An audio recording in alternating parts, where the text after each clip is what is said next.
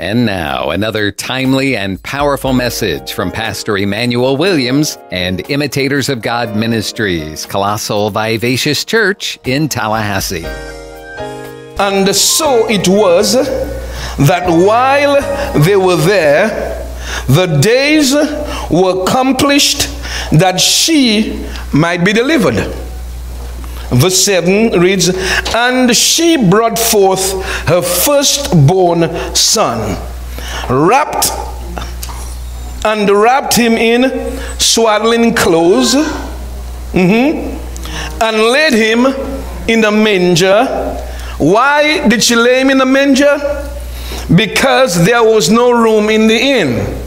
She didn't lay him in a manger, wrapped him in swaddling clothing because she was poor unlike what I was taught growing up. I was taught it's because there was no room in the inn. They had money for the inn.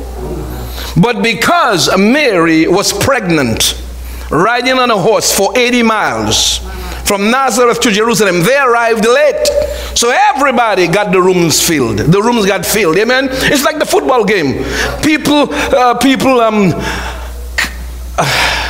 confirm their room. How, how you say it? Reserved their rooms, right? A year before. Mm? A year before you come into reserve a room in August, you won't get a room. Are you with me? That's what happened here. The Bible says in Luke chapter 2, so it was that, verse 6, they are referring to Joseph and Mary. Mm-hmm. Amen.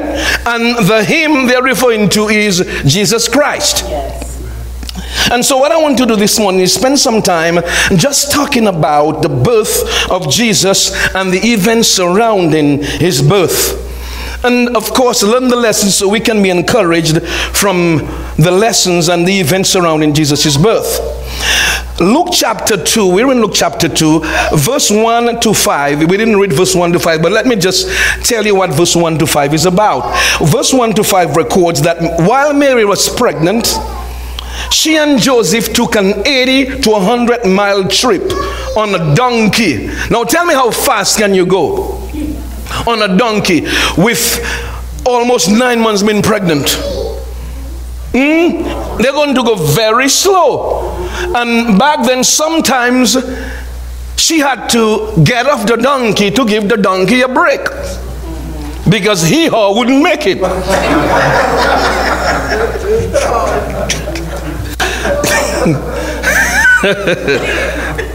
he always not a coming. so it took them a little while. Praise God. So she 180 mile trip from Nazareth to Bethlehem. Why? Because of a decree issued by Caesar Augustus. Caesar is a title used for Roman emperors, much as we use the title president today.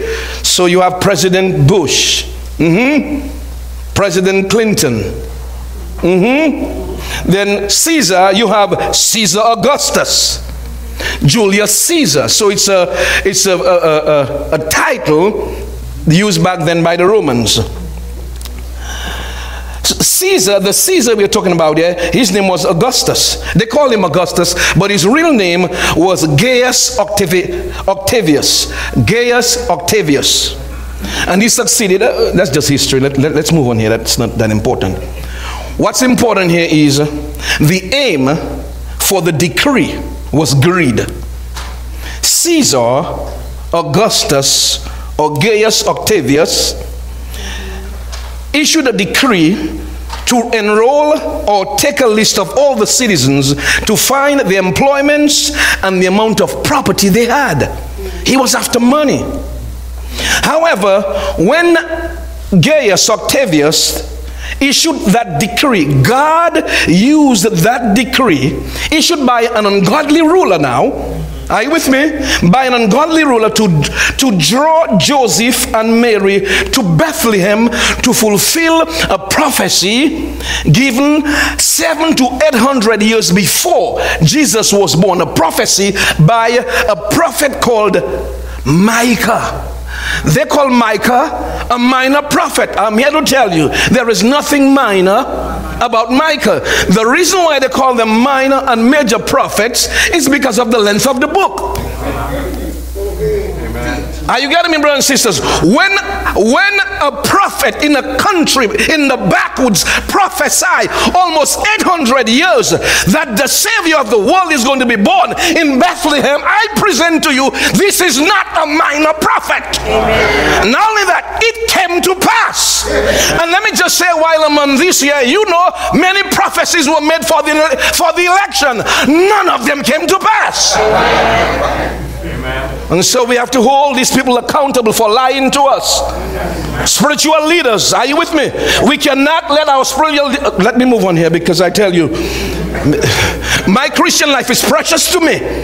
Amen. Are you with me? And so if you open your mouth and say, Thus saith the Lord, you better show it is thus saith the Lord. Because Micah prophesied 800 years under the inspiration of the. Let's go to it. Micah chapter 5, verse 2. Let's see what this, this backcountry preacher in the woods.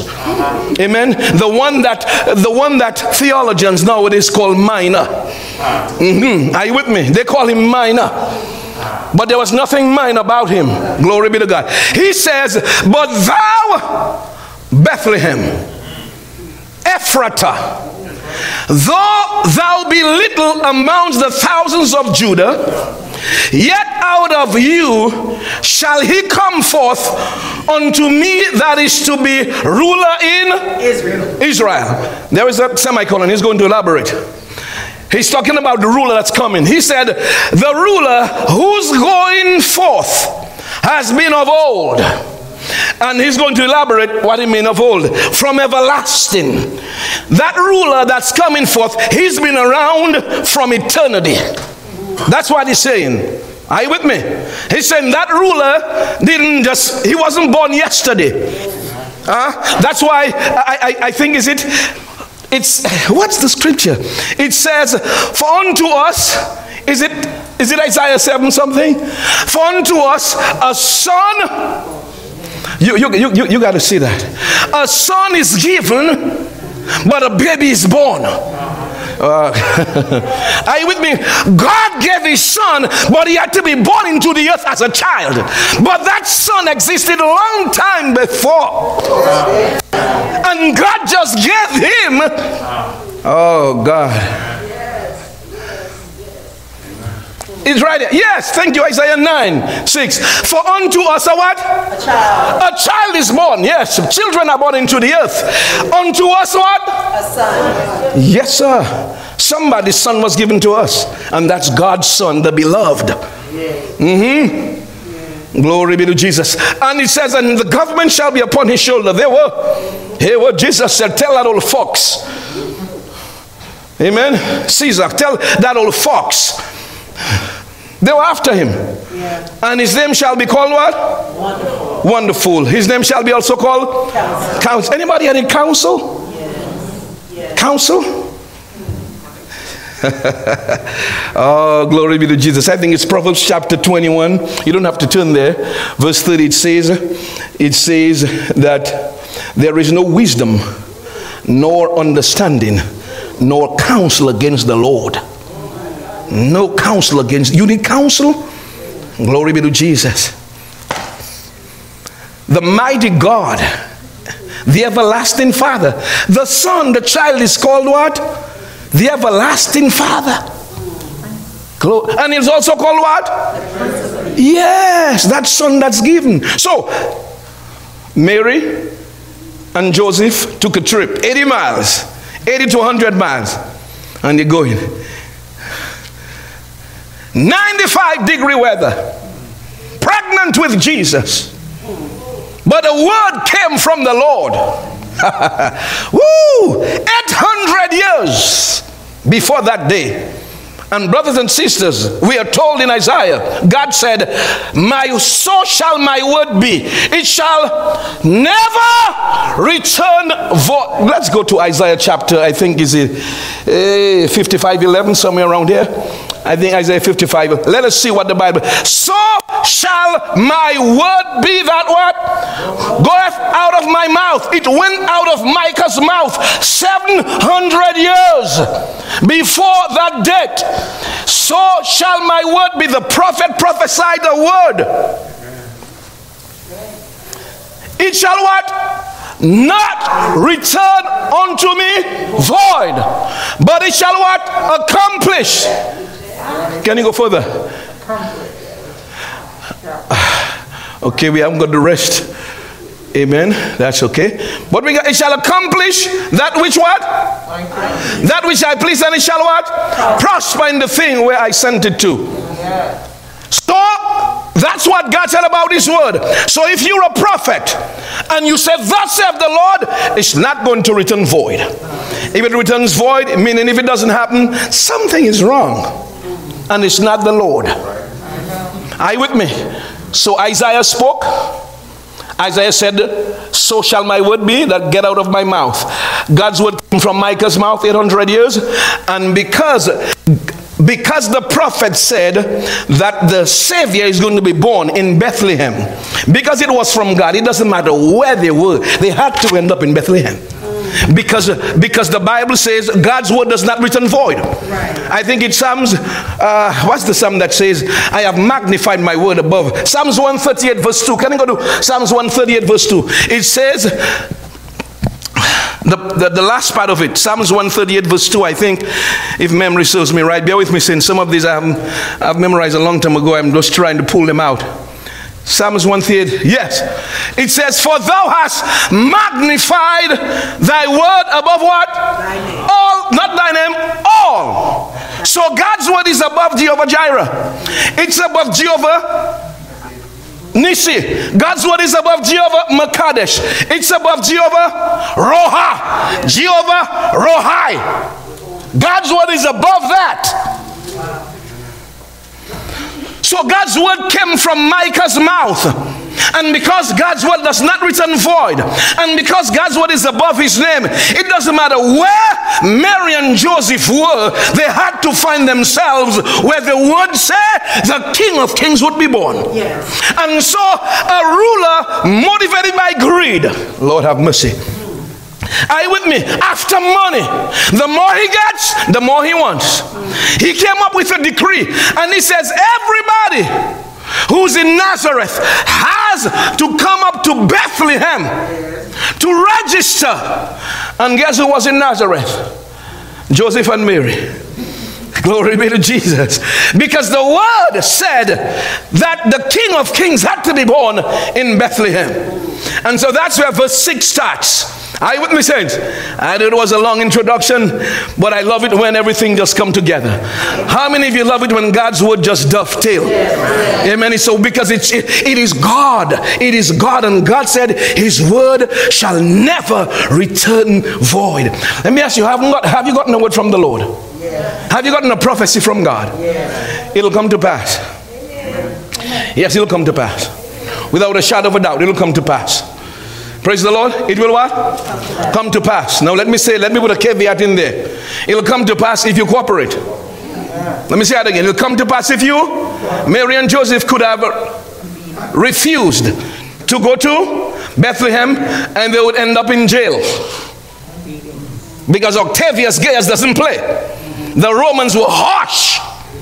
If they say you got to be somewhere, you got to be somewhere. And if not, they'll lock you down.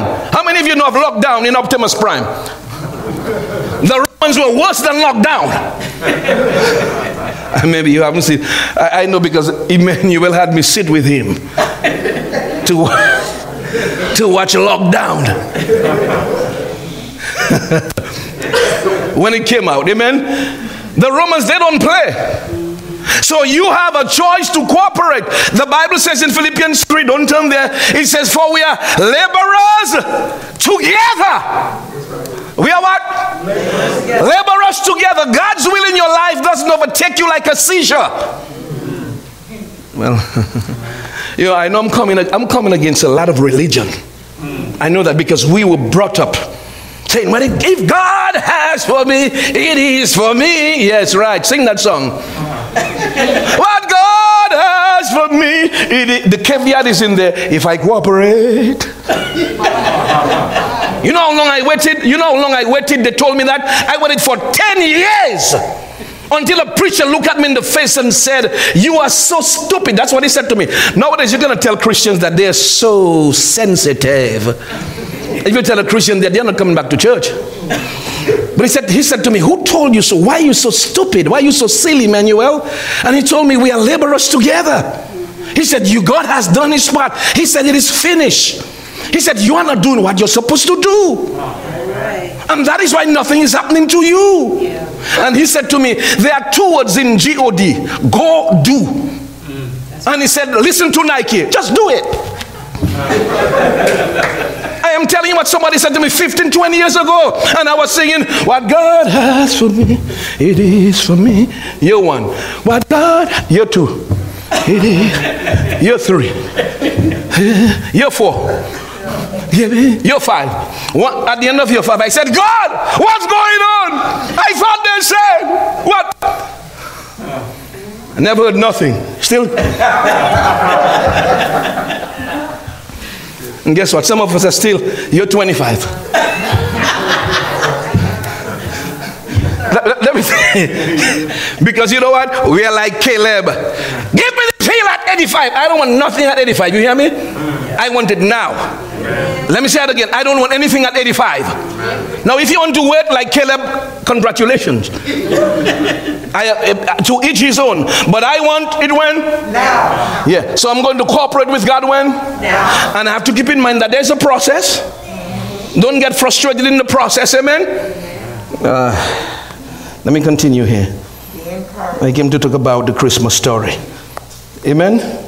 So the prophet gave a word, and the Bible says that Mary and Joseph, living in Nazareth at the time, had to find their way to Bethlehem because they have to submit to the word.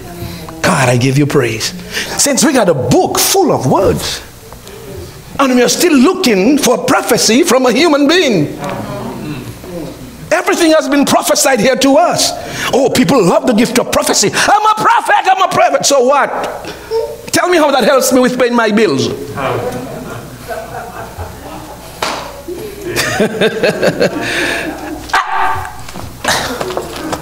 I got 66 books of words. And let me move on here. You see, I came up Christian. I came up the hard way in Christian in Christendom. You see, I was first a janitor, then I became a musician, then I became ordained as a trustee, then a deacon. After I became a deacon, I became a minister, then I became an elder. After years, now some people just start and they get catapulted from the back to the front. That never happened to me. Are you with me, saints? Listen, I was not that fortunate. Anyhow, glory be to Jesus. So let, let's let, let's see what how the prophecy unfolded. Amen. So we are told Micah 5 2 that uh, and notice what I want to bring this to your attention. Notice what the Bible says in Micah 5 2. The word Bethlehem means what? House of bread. Amen. Because the area was a grain producing region in the Old Testament times. So Bethlehem means house of bread. Notice the word attached to Bethlehem. Ephrathah. Ephrathah means fruitful, and it differentiates it from a, Gali- from a Ga- Galilean city. There was, a, there was a city in Galilee named the same thing. So God said it's not Bethlehem in Galilee, it's Bethlehem Ephrathah. That's where he's going to be. And Jesus ended up in Bethlehem, being born in Bethlehem Ephrathah. Bethlehem, Bethlehem fruitful. Amen? That's how exact God's word is. So verse 6 says, let, us move on quickly. Verse 6 says, So while they, Mary and Joseph were in Bethlehem, what happened? The Bible says, she brought forth her firstborn son, amen, and wrapped him in a swaddling clothes and laid him in a manger because there was no room for him. Think about it. The God, creator of the earth, entered the earth. And it seems like nothing happened in the natural realm. Just an ordinary day. Everybody went on their way. Are you with me? In the natural realm, it seems like everything is all right. Just another day. And under the inspiration of the Holy Spirit, Luke presented this most amazing event in an understated manner.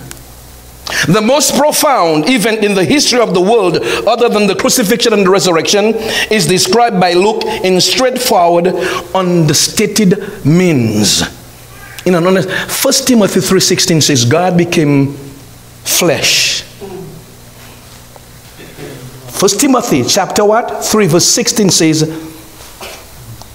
God was manifested in the flesh. It just happened. No fireworks in Times Square. You would think if God get entrance into the earth, there would be fireworks. Nothing. Ordinary day, quiet, born in obscurity. God was what? Manifested in the flesh. God showed up. That's what manifest means. God showed up. God was manifested in the flesh. I mean, we're talking, we're talking about the creator of the universe came, reduced himself to a baby, helpless in obscurity. No fireworks at all. uh, think about it. Joseph and Mary, Joseph and Mary away from their friends she couldn't even get a baby shower. No pamper. You, you, you know what they do sometimes during the baby shower? They have a, a pamper wrapped up. It looks so pretty. Jesus did not even have that. oh, man, I said wow to that. I said wow because it tells me a lot. tells me a lot. Think about it. What makes it even more humbling is verse 7 tells us where he was born and what he wore when he was born. Think of verse 7. Let's look at what verse 7 says. Verse 7 says, And she brought forth the firstborn. By the way, when the Bible says firstborn, it's indicating that Mary had other sons. The Catholics keep calling her Virgin Mary. Are you with me, saints? She was a virgin until Jesus was born. Jesus had six other siblings, but they wouldn't tell you that. Well, let me move on here. So I believe God put firstborn here uh, um, uh, uh, just as a, a, way to tell the Catholics, hey, she's not God. Yes, she ought to be respected. Amen. But uh, uh, uh, perpetual virginity is out of the question. Well, let's move on here. The Bible says she wrapped him in swaddling clothes. The word swaddling here means, uh, uh, it comes from a Greek word meaning to tear, which means that swaddling clothes, that's torn strips of cloth wrapped around Jesus' little body. So while they were in, they were in an animal cave. The Bible said she laid him in a manger. The word manger means to feed. He was in a feeding trough. How many of you know what a feeding trough look like? I don't know if you know, but you know, back home I had, I had, we had a lot of hogs, and we used to take a tire and cut it all the way around in the center, amen. And then that would be a trough. I would take a, a banana boil and just put it in that for the hogs to eat. Jesus was placed in one like that. I'm talking about the King of Kings and the Lord of Lords.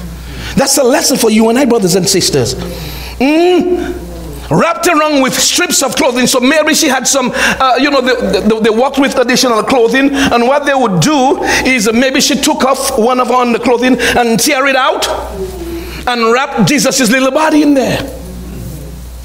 And the world around is keep, keeps going on. Nothing happened in natural realm. No, you know. By the way, the title of my sermon is In God's Economy God's projects never start with a big bang.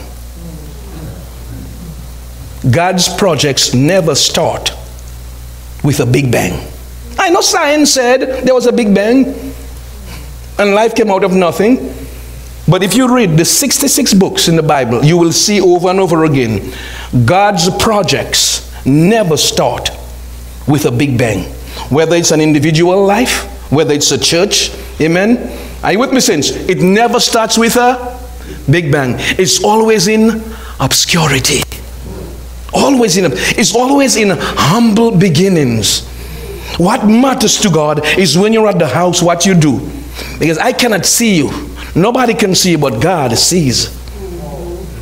That's what matters to God. How you spend your time.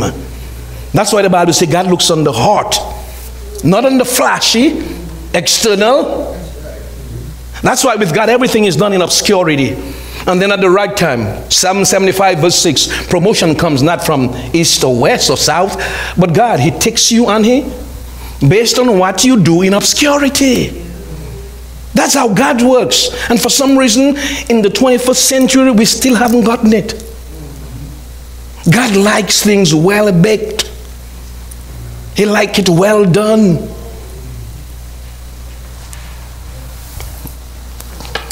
And for some reason, humans cannot understand that. God is not a showboat. God could have hovered, hovered over Bethlehem. Amen. He could have hovered and a, a whirlwind could have come and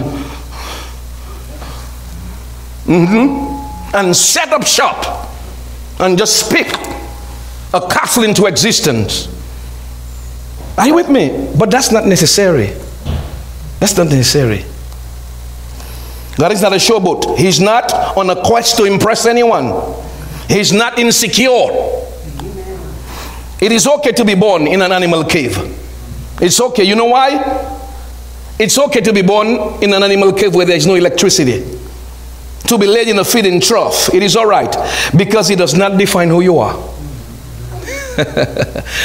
where, you, where you were born does not define who you are.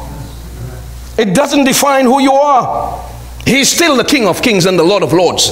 He's still a mighty warrior. One day, every knee is still going to bow, and every tongue is still going to confess that Jesus Christ is Lord. Even though he was born in an animal cave, even though he was wrapped with swaddling clothes. You with me? Even if nobody was there but animals, the only people who were in the were Joseph and Mary and the animals looking. That's our Savior. Are you sure? I feel like eating him. No. they, they knew it was their creator. Looking at him, a baby. Isn't that wonderful? Isn't that a blessing, saints? Let me ask you this morning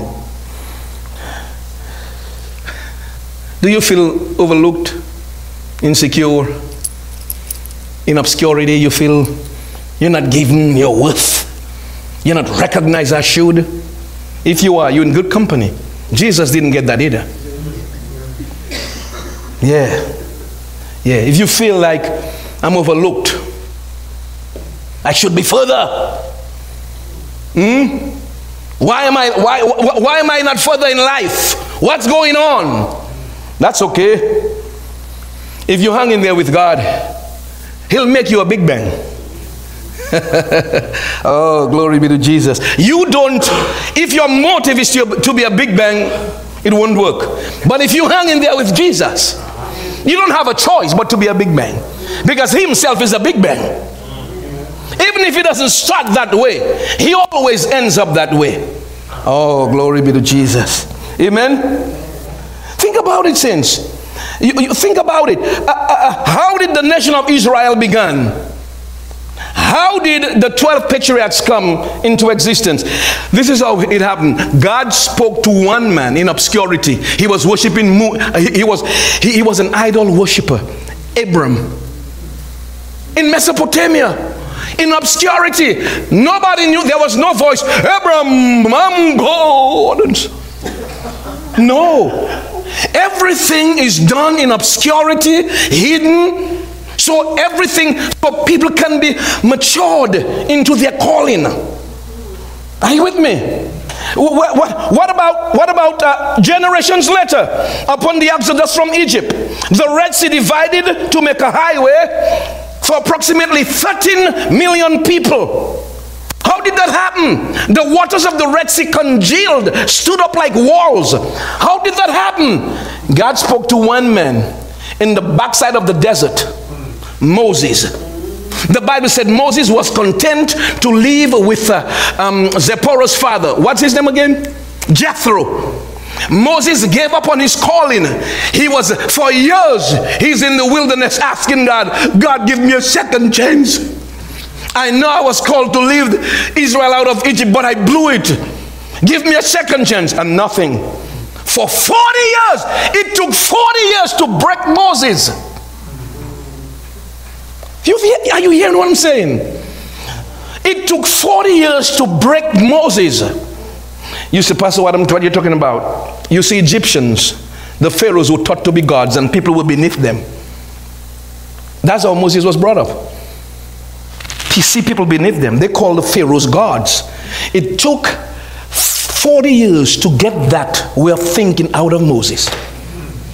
Because he was third in line to the throne of Pharaoh. So he was taught that people are beneath you, they are nothing. It took 40 years to break him. But he broke, and I thank God for it. I found out many of us are not broken. Glory be to Jesus. You know what I'm talking about. Have you seen a horse, just a horse, a black stallion? Nobody can ride me. Nobody can. And it, it walks around, it jumps around with pump.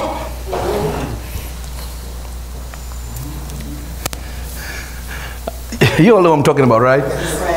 I had a pastor friend.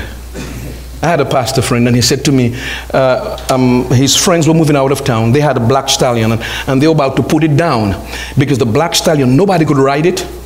It was never ridden.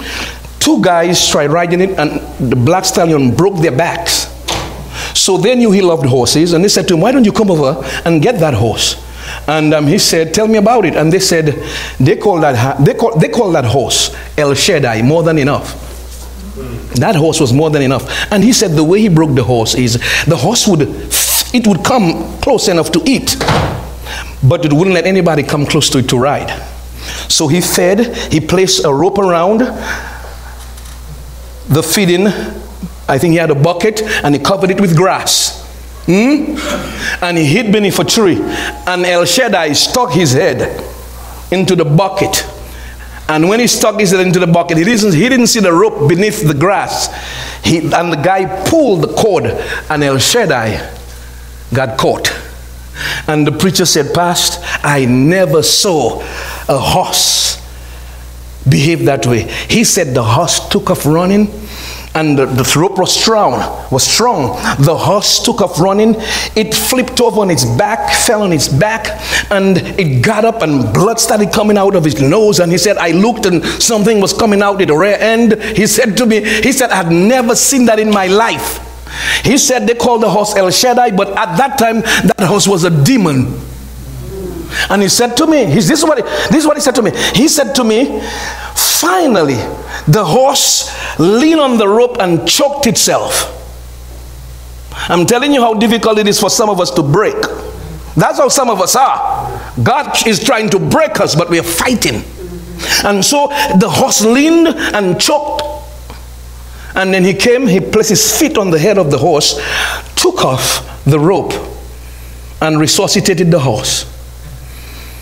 The horse came back alive. From that time, everything changed. It finally broke. He said he would come close to the horse, and when he came close to the horse, it would just shake because it was broken. Now anybody could ride the horse. Saints, I'm telling you that because it takes a while sometimes for God to break us, to break us. Amen. It takes a while for God to break us. Sometimes it takes a while for us to listen to God and follow God. It takes a beating sometimes. It take, why does it why does that happen? You think about it. Why does that happen to us? You don't have to answer, I'll tell you why. It's because we have what is called free will. The best thing given to us is free will. The worst thing given to us is free will. Uh, no amens at all. That's all right. That's all right. That's okay. That's okay. But this is what I want to share with you, brothers and sisters, and I'll be done shortly. The Bible says that the king's heart is in the hands of the Lord. Proverbs chapter 21, verse 1. The king's heart is in the hands of the Lord like the rivers of water. The king's heart, Gaius' heart was in God's hand, and he used Gaius' greed to ensure that the word came to pass. And I'm saying this because many of us, we have leaders at work, supervisors, and we've been praying, God, can you make a way for me? Can you touch my supervisor's heart? Yes, he can. God just showed us he can he can turn the heart. He can take and let me be very careful when I say turn the heart because God respects free will. But God can take the decisions that leaders make and use it to fulfill his word. Are you with me, saints? God is that wise. Amen. Glory be to Jesus. So, like I stated, the genesis of every divine mission was planted in obscurity, in silence, overlooked, ignored. Amen. So if that's you this Christmas, if you're feeling like there is no help, don't you worry. There is help. Amen. Amen. No families there. Don't you worry. Jesus, there was no family there for Jesus also. No friends there for Jesus. What I'm saying is nothing is wrong with you if that's where you are today. The world may let you think that something is wrong, but nothing is wrong with you. How many of you were born in a feeding trough? None of you. In a feeding trough. In an animal cave. Oh, I was about to say. I was about to say. In a, none of you here were born in an animal cave. None of you here were born in a feeding trough. Everybody here, when you were born, you had pampers on. Jesus didn't have that. He didn't have that luxury. And yet, he was the King of kings and the Lord of lords. Yet, every one of us here one day will say, Jesus is Lord, and will bow. Your identity is not tied in who you are or where you were born, who you belong to, whether you live uptown or downtown. Are you with me, sense? Our identity is tied in Jesus Christ. Oh, and the quicker you learn that, the better it is for you. And this is what I love. Of everybody God could have told, Jesus was born. He went to lowly shepherds. Are, you getting what I'm saying, sense? I'm trying to. He went to lowly shepherds who were abiding in the field, keeping watch over the flocks at night. Can you go to verse 9? Verse 9. All of a sudden, brothers and sisters, when Jesus was born, it seems like nothing was happening in the natural realm, but in the spirit, there was a praise break. Are you with me? A praise break. The Bible says in verse 9, and lo, the angel of the Lord came upon them, upon the end, upon the shepherds came upon means they were not expecting him. You see, the I'll tell you a little bit about shepherds in a while. Do you know Egyptians called shepherds? They were abominations to Egyptians. You remember when Joseph told his brothers, when Pharaoh asks you, what do you do? Tell them you are. Tell them you. you forgot the scripture? Okay. Okay, that's your homework. Find out what? And then he told him, because they are abominations to the Egyptians. That's why they put them away from the Egyptians, because they look down upon shepherds of everybody else. Hmm? Normally, listen, since normally the birth of a prince would be announced to kings and other dignitaries. Amen. but this princely announcement was given to lowly and lowly shepherds, not to priests, not to the rulers, not to the high priest, not to the kings, not to the Pharisees or the scribes or the Sadducees, not to the great men of Israel, but to common shepherds, who was a class. Listen, what one commentator said: the shepherds were a class, uh, a class actually considered as outcast by the Jewish hierarchy. Shepherds were near the bottom of the social ladder. They were uneducated and unskilled, increasingly viewed in the post New Testament era as dishonest, unreliable, disreputable. So much so that they were not allowed to testify in the courthouse. Because sheep required care seven days a week, shepherds were unable to fully comply with the man made Sabbath regulations developed by the Pharisees. As a result, they were viewed as being in continual violation of the religious laws, and hence they considered them ceremonially unclean. However, ceremonially unclean, but not so with God. However, God still chose. Still chose. Amen. To tell the greatest news apart from the resurrection and the crucifixion to lowly shepherds. That's what I'm saying. God loves people who are humble. Yes. Amen. He loves humble people because God knows the world, the, the world, and, and, I, I have to say this right the world and, the, and those who are rich externally because, brothers and sisters, God's way of God's perception of richness is different from our perception. Let me say that again. God's perception of which of being rich is different from our perception. God looks at you being rich in the spirit. Psalms in, in Genesis chapter 39. Joseph was on the auction block. You don't have to turn there. Joseph was on the auction block, about to be sold, naked and the Bible says God was with him and he was rich, a slave about to be sold, naked. And the Holy Spirit saw him as heaven saw him, and God said he was rich. Are you with me? God looked at Mary and he said, highly favored. He looked at Gideon and he said, mighty man of valor. Are you with me, saying? So our perception of riches, of being rich, is different from God's perception. Because God looks on the heart. Typically, those who are externally rich are very proud. They haven't got time for God. Guess where they are today? Guess where they are today? On the beach. In a boat. St. George Island. Guess why? They feel they don't need God. Because the Bible says money, and uh, Ecclesiastes is right, it says money answers all things. You and I can't, listen to me, saints, this is the Bible and God is right. Mm-hmm. Money does answer a lot of things. It cannot cure miraculously, but it can buy some good cancer medication. Amen? Cancer. Yeah, cancer. Thank you. I'm in cancer. Are you with me? Yes. Go ahead, Apostle. But are you with me? But money cannot give you a miracle. Yes. It cannot give you a, a spiritual miracle. Are you with me, saints? Right. And so that is why God chooses over and over and over and over to share the good news with people who are humble. Yes. And if there is anything you and I need to learn while I close during this Christmas season is remain humble. Jesus. Do not complain. Oh. Are you with me? God is always in small beginnings, humble beginnings. That's right. And you and I, we need to know how the kingdom of God works, brothers and sisters. We need to understand that God works in obscurity.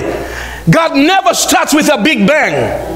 You need to you need to understand that. But if you hang in there with God, like that donkey Jesus rode down on Palm Sunday, when they were clapping for Jesus, they were clapping for the donkey also. Are you with me, saints? You just hang in there with Jesus, day by day, doing the right thing every day. I got to spend time with my master. I got, I got to set aside time to pray. I got to set aside time to read the Word of God. Are you with me, saints? Because when you pray and when you read, it is showing your dependence on God. Rich folks externally haven't got time to pray. No, what they do is that's called a lawyer. You get what I'm saying? Let's call a lawyer.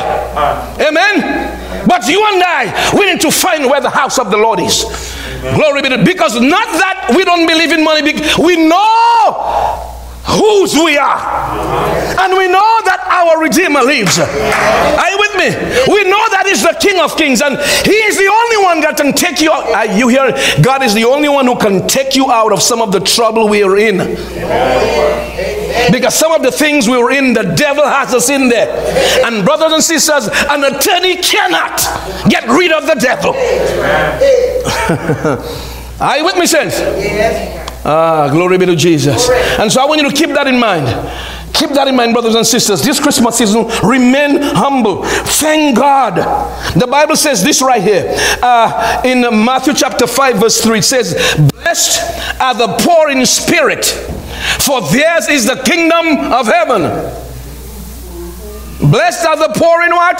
Spirit. Spirit. And when the Bible says poor in spirit, it, it, it means that you as an individual.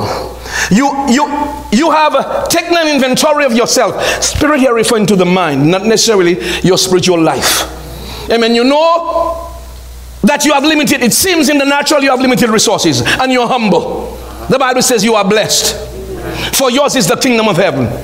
Amen. That's what it's talking about. Not because people who are in the spirit are not poor. ah, glory be. Are you getting what I'm saying, brothers and sisters? People who function in the spiritual realm, they have power with God. Oh, glory be to Jesus. I need to do so. I'm, I'm, I'm going to I'm going to take this to a close, but I need to jump. Let's go to let's go to Luke chapter before I bring it to a close. Let's go to Luke chapter one. Amen. And verse 40 from verse let's read from verse 46 to 54. This is Mary, and, and this is wonderful. This is Mary after Elizabeth said to Mary. She said to Mary in verse 45, blessed shall she be because she believed there shall be blessed is she that believe for there shall be a performance of those things which were told her from the Lord. This is Elizabeth. Mary went to Elizabeth's house. Are you with me? And Elizabeth is in the spirit. And Elizabeth told Mary, You're going to be blessed. Amen. Why? Because you believed. Anybody here believed? Because you believed there's going to be a performance of those things that were told of you by the Lord. Has God told anybody here anything? Do you believe it? Yes. The Bible says then you're going to be there shall be a performance. What you believe, you're going to see. That's why from this verse, what I got from this verse, I always say it, but I don't say where I get it from. I always say from this verse, if you believe it, you'll see it. Yeah, yeah. Don't wait to see it to believe it. No, no, no, no, no. If you believe it, yeah, because you got to see it. Believe is to see it first in on the inside. Amen. If you can see where you're going internally, a way will be made. Oh, glory be to Jesus. Are you getting what I'm saying? If you see internally where you are going, if you have internal vision, a way externally will be made. I, I want to give, uh, you know, I want to give, I want to give credit to the guy who said that. But one, one. Uh, Uh, what's his name? I forgot his name. It's not Les Brown. It's not. But he said this. He said, You cannot travel from within and stand still without. he said, You cannot travel from within. What, what he's saying, you cannot fortify your mind and remain the same place. Oh no, oh no, oh no. You fortify your mind, a way is going to be made. Because the Bible says, as a human being thinks in his heart, so is he or her. Oh, glory be to Jesus. So, so listen to what because I'm, I'm I want you to understand what God is doing. God is always. But be, be, before I get to that verse, let me show you God's. Can you go to Zechariah chapter 7, verse 9 to 10? Zechariah chapter 7, verse 9 to 10. I'm, I'm on that humble. I'm on that humble. I want to stay with, with that particular train of thought. It's important this Christmas for you to see who you are in Christ and see how God is always rooting for the underdogs. Let me say that again. God is always what? Rooting for the underdogs. Right here in Zechariah chapter 7, let's go to verse 9. It says, Thus speaketh the Lord of hosts, saying, Ex He's speaking to leaders now. Who is he speaking to? He's speaking to leaders. He's speaking to the commissioners. Huh? He's speaking to, to the governors and the presidents Congress. He said, what he said? He said, Thus speaketh the Lord of hosts, saying, Execute true judgment and show mercy and compassion every man to his what? Brother. You know why we are all brothers? We all come from God. Let me say that again. We are all we all come from God, therefore we are all brothers and sisters. Some of you just had to say, man, let me think. Is that true? Uh, uh, It's true. It's true. That's the word.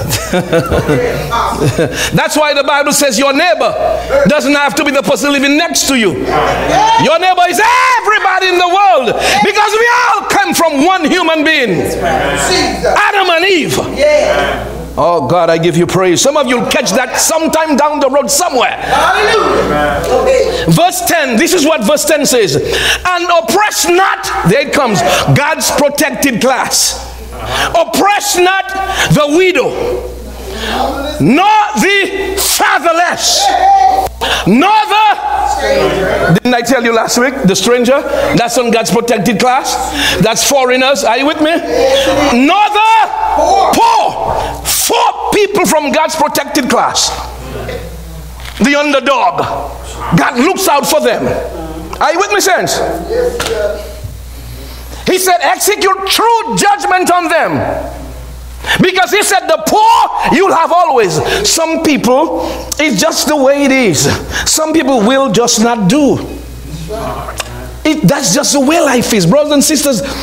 From Jesus, Jesus said, you remember when Mary of Magdala took when she broke the alabaster the alabaster box. She broke it and the perfume in there cost almost $36,000 she took the box broke it and anointed Jesus' feet. Because they didn't give him water to wash his feet. The Pharisees and the Sadducees had no respect for him. Typically if the commissioners come at the house if the governor come at the house they would have water out of their doors to wash the governors and the commissioners feet. Because they are the leaders. But Jesus they have no respect for him. Because he didn't go to their cemetery I mean seminary. Lord have mercy I, he didn't grow up with their boys. He wasn't part of the group. Ah, glory be to Jesus. Because he knew who he was. When you know who you are, you don't join the bandwagon. So Jesus knew who he was. Oh, they knew he had anointing. He had an anointing on his life, but they had no respect for him. So they allow him to come in with dirty feet. All their feet are clean, and God touched that woman. Mary from Magdala, she broke the buff, the, the alabaster box, and she took the perfume and perfumed his feet. And then she took her hair. She had a ponytail. A ponytail, she had it wrapped up. She took up that thing. And she took that hair. And she began to wipe his feet. Take the dust off the feet of the King of Kings and the Lord of Lords, mighty warrior, lion of the tribe of Judah, our Jesus, our Jesus. Can somebody say, My Jesus, my King, my Lord? Oh, glory, I feel that, I feel that down in my sanctified soul. Glory be to Jesus. And she went down on her knees and she began to wipe his feet. And the Pharisees, the uppity, uppity up. Can you say the uppity, uppity up? The high mickety, mickety mocks, straight on their way to hell.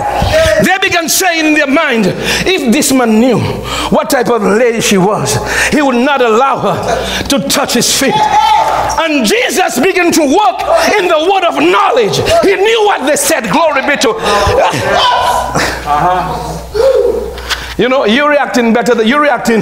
You're not reacting like I'm preaching, so I'm going to move on. I think I'm just working up myself here. Let me let me move. Let me move on.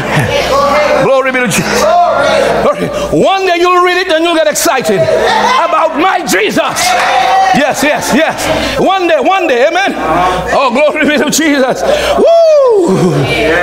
But but this is this is what because you see it was the poor and the widow and the fatherless who took care of him. Are you with me? And the stranger, glory be to God. They supported his ministry. Amen. Are you with me? Ah, glory be to Hallelujah. Glory be to Jesus. Now let me put a caveat in there. It's okay to be rich if you have the right heart. That's right. If you realize all things come from God. Ah, glory be to Jesus. And you got to give God his due. God loves everybody, rich, poor more. Amen. Glory be to Jesus. Amen. Ah, hallelujah. Glory be to Jesus. But I need, I need to show you this right here. What she said under the Spirit.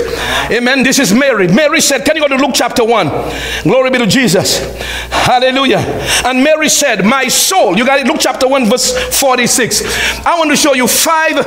What she, she said, five he hath. He hath. He hath. And all that he hath is pointing to what he has done for people who are low and meek. People who don't have a lot. Are you getting what I'm saying? It's right in the Bible. But before that, she said, My soul does magnify the Lord. Her soul. You know what the soul is? The soul is the mind, the will, and emotions. She said, My soul is involved. Some of us, we leave our soul at the house and we come to church. Well, let me move on here. Are, are you getting what I'm saying? We just every just every the only thing that's here is the body. I'm just here this morning. Why, why are they jumping that much in church? I thought that's all. Be, I thought that's all. They, that's all they behave in the club. You haven't seen anything yet. Wait when you go to heaven. Read about what King happened to King David. Amen. And when I say you haven't seen anything here, let us get a full band, and I'm done with music. Then you'll see what dancing is. Yes, yes, yes. Glory be to Jesus. In the presence of the Lord, there'll be some dancing going down. Yes, sir. Are you with me? Let one more musician come to join him. I'm gone. I'm here doing my boogie woogie for the Lord. Ah, glory be to Jesus. Yes, sir. When I come, I come with everything body, soul, and spirit. Mary said, My soul doth magnify the Lord. My mind magnify the Lord. My feelings, I have emotions for God. My will, she said, I have bent my will to let it worship God. And she said, My spirit, you know, your spirit, your born again spirit is always for God. It's always on God's side. She said, My spirit, what she said about the spirit? My spirit hath, past tense, it's a done deal, hath rejoiced in God my Savior. There it comes. Five he hath. The first he hath. Four, verse 48. For he hath regarded the low estate of his handmaid. She called herself a bond slave. oh, uh, are you getting what I'm saying? A bond. She decided to stay with her master. She has. She can go home, but she said, "No, he's been too good to me. So let me take my ear and let them draw, let them put an let, um, let them put a nail in my ear and let me wear his ring, showing that he owns me." Glory be to Jesus. That's a bond slave. She decided to do it. And the bond slaves, they held a special position. History shows uh, they hold a special position in the house of the master. They were not like every other slave. By the way, uh, let me, as I say the word slave, back then people sold themselves into slavery. Let me say that again. Some of you looking at it. God came into a corrupt culture. People began doing their own things. Amen. God didn't support slavery. Are you with me, saints? The reason why I'm saying that is I met a guy and he's telling me, "Oh, the Bible supports slavery." Rah, rah, rah, rah, rah. Let's go to 1 Timothy chapter 1, verse 10. Let us see what God thinks of slavery. 1 Timothy chapter 1, verse 10. Are you with me, saints? Oh, let me just take care of that before I move on here. Uh, it says, and it's giving a list of people who are going straight to hell if they don't repent. Whoremongers are going to hell. For them that defile themselves with mankind. That's talking about homosexuality and lesbianism. Look at the next list. Men stealers, that is slave owners. Men stealers are going straight, slave owners straight to hell. Now, that, let me put a caveat. That's if they do not repent. Let me say it again. That's if what? How many of you know we're asking all of them to come here? Yeah. Oh, yeah. Because if they come crooked, we'll set them straight. we have the power of God, which is the power of love. On you get right. Oh, we'll tell you the truth in love. We have to stay with God. Are you with me, saints? Yes. Can you go back to Luke chapter 1? I, I think I made that clear, amen. So when you meet people who tells you the Bible stuff about slavery, take them to that verse. Amen. Show them right here. Men stealers straight to hell if they don't repent. Amen. We get that clear? Yes. Praise the Lord. Let's continue here. For he hath regarded the low estate of his handmaid. Can you jump over to verse 51? Another he hath. You need to see all the what what I would encourage you to do is over the Christmas, look at all of these and read them. Meditate on them. It says here, verse 51 He hath showed strength with his arm. He hath scattered the what? Proud in the imagination of the hearts. Lord have mercy. You know, you know, you I'm just reading this right here. Oh, I just realized it's almost 55 minutes. I'm almost done. Oh, Lord have mercy. More than an hour. Sorry about that. Are you ready? I'm almost done. Three more verses. He hath showed strength with his arm. Verse 51 He hath scattered the proud in the imagination of their hearts. Verse 52 Another he hath. He hath put down the mighty from their seats and exalted them that are of. Lord, everything is about people who are humble. Think, let's read. He hath filled the what? Verse 52, 53, sorry. He has filled the hungry with good things, and the rich he hath sent empty handed. Let me say, God doesn't hate rich people. You know that. But sometimes rich people think they don't need God. And that's what that's what it boils down to. Verse 54, and I'm done. He hath holpen. The word holpen means to give hope. He hath holpen his servant Israel in remembrance of his mercy. Amen. A true Israelite, a true Jew, is not one who has circumcised. Are you with me? Outwardly. Because women cannot be circumcised. Praise God. A true Jew is one who's circumcised internally, in the heart. A true Jew is somebody who has the Spirit of God. Living in Galatians chapter 4, verse 6. It says, In you we can cry, Abba Father. Anybody who can cry Abba Father is a true Jew. That's why every day I say to myself, I feel Jewish. I feel really Jewish. Glory be to God. Galatians chapter 4, verse 6, it says, And because you are sons, and the word sons there is referring to the spirit in the spirit realm, there is no male or female, just sons. Isn't that a blessing? Because you are sons, God has sent forth the spirit of his son into your hearts, crying. Abba. Can anybody say Abba? Abba, Abba means daddy. Yes. So during this Christmas season, I'm asking you, since as I bring it to a close, to be thankful. Don't let your calamities define you. Don't let what's happening out there define you. Do not. Jesus said, I have overcome the world. And we are in Christ. So if he's overcome the world, we have overcome the world. And if you look into then you're not saved. Hallelujah. If you're not saved, pray this prayer with me. So you can move from darkness into his marvelous light. God, we thank you. Say, Heavenly Father, I thank you for sending Jesus. oh, glory be to Jesus. Born in Bethlehem, as your word says. Your word did not return void. Thank you for Jesus. I accept him now as my Lord and Savior. I confess him as Jesus, my Lord. Thank you, Jesus. Say, Thank you, Jesus, for taking away my sins and for giving me everlasting life. If you prayed this prayer, you just move from darkness into his marvelous light. Send us some information at iogmtally at gmail.com. That is iogmtally at gmail.com. We'll send you some information. We'll pray with you and thank you for those of you who've contacted us. Amen. Can you give the Lord a hand of praise? Can you give the Lord a thank you? Hallelujah.